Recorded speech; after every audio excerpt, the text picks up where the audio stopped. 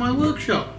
Today we're going to do some a bit of machining on the SIEG X2 converted CNC mill.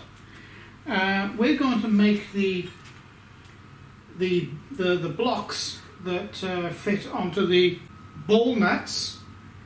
Uh, we're going to be making four of them. Um, I'm making two at a time. Really, it's just um, little bridges that I've, I've uh, drawn up in Carveco.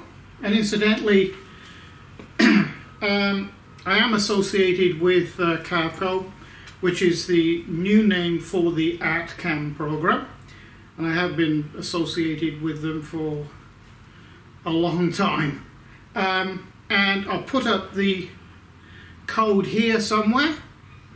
Now, that's a 5% discount code across the board of all of their products. Uh, if you were interested, so you get an extra 5% off, uh, whether it be Carveco Maker, Maker Plus, whether you're whether you're paying monthly, whether you're paying yearly, or whether you're purchasing outright, uh, and even the industrial program, you get 5% off that too.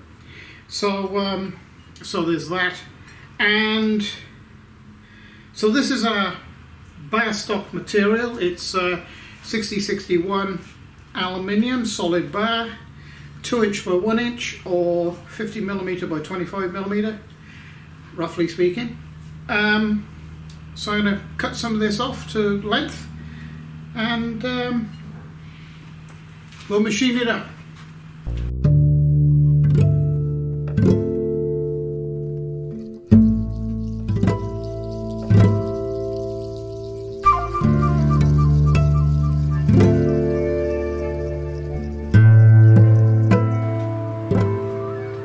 Okay, so this is a bar stock cut off to rough size. Now, what I'm going to do is, um, I've got a very sharp tool put in here because I'm going to set up the XY0. And I'm going to set it up to the corner of this um, vise here. Well, the easiest way to me to do that is to put our material. Now, I don't have parallels, I use um, a little bit of Teflon actually, so it doesn't, uh, it's not affected by coolant or anything like that. I'm going to be running flood coolant to machine this. So put our material in there and we tighten it up. Okay, so we're flush there on the edge of the jaw of the vise and so this is in the same plane as the corner of that. So I'm going to fetch this very very sharp tool down and we're going to just bring it very close to this corner here and set our X Y 0 but before we do that I'm going to tighten this up in here and then settle it down with a hammer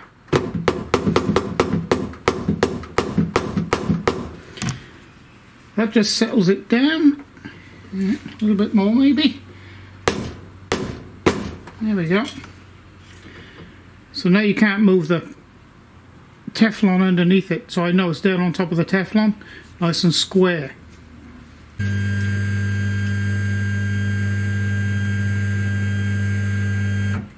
Gonna come down a little bit more.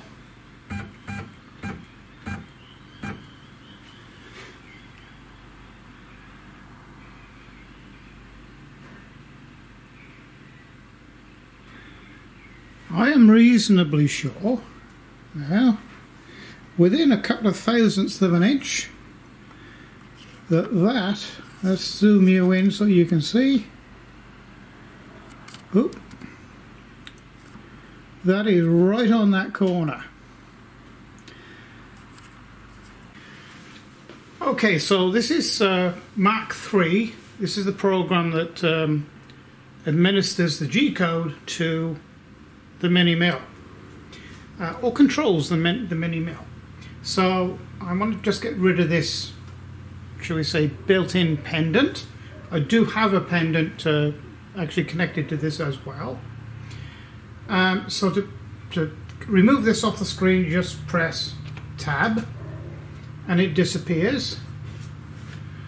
So actually, before that disappears, I just want to raise up the jog feed rate, which is done here, to about 10%, I think. So the to zero the XY position. Now, this is the start of the piece of work. Okay, so you're telling Mach3, well, this is where you, this is the location where you start the program on the piece of work. It's uh, technically known as the G54. That's in G code, but it really doesn't matter. So X0 y0 so that's simply setting the zeros in x and y now I have to change the tool and put the tool we're going to use to cut and in this case for the whole process we're going to be using uh, an 8 millimeter 3 flute that's 8 millimeter 3 flute um, this is a tungsten carbide end mill very expensive end mill um, but it's it's you know very good for machining aluminium. Um, so I'll now just change the collet and um, fit the new tool in. I'll show you how to change a collet. Okay. So this is a collet chuck. Okay, so this is the six millimeter collet chuck. So this is the 8 millimeter collet that fits this cutter. You just clip it in like that.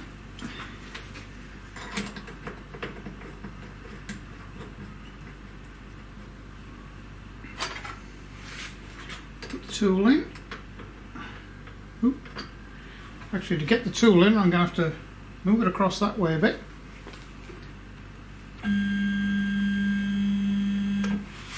There we go.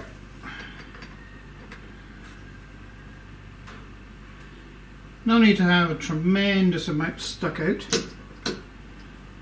Of course you've got a special key to do that up. And I've got this locked, got the shaft locked. Nice and firm. You'll have to over tighten it. And we'll bring this down now and zero off the top of the material the Z axis.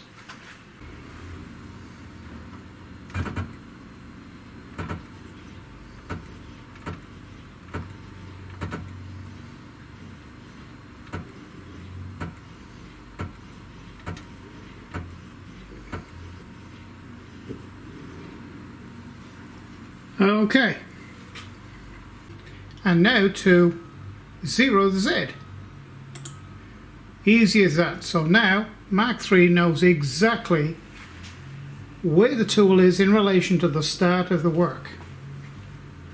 So next thing we need to do is load up our G-code. Actually first I'm going to lift up the tool off the material and to do that we will raise that slightly. And then and then just press on the keyboard the up button. You can tell by the DROs that it is actually going up. So now we're going to load the program into Mach. So you just come up up to file G code. And we're going to go to let me see it's not on the desktop. It's in my removable storage device MIDI. And it's part number three. Uh, this one here and always press regen and here is the part here in this little window so Now what we'll do is start up the spindle motor and we'll start it running.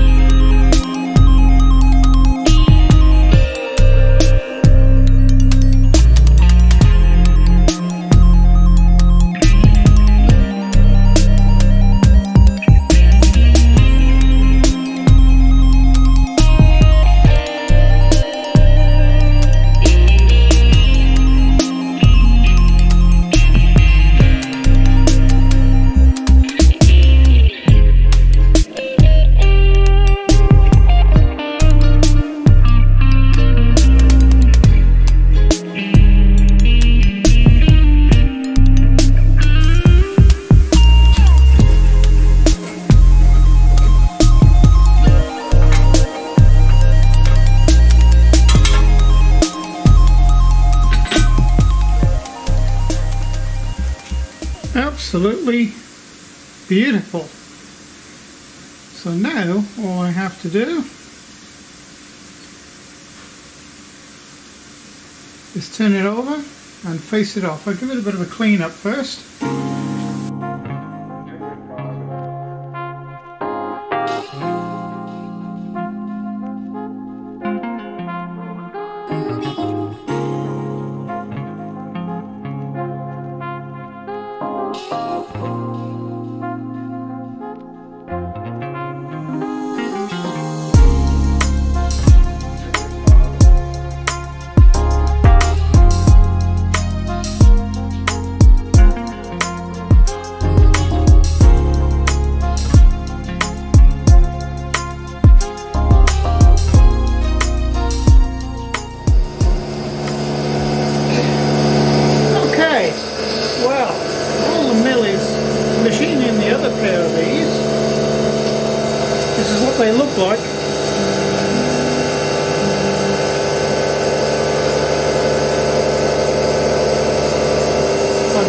Very, happy with them actually. And of course they fit in here, very good fit.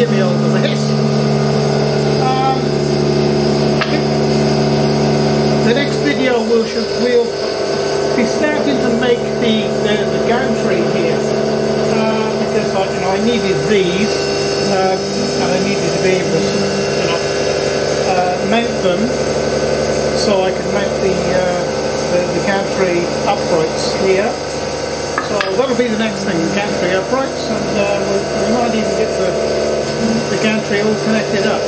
So uh, thank you for joining me, and it's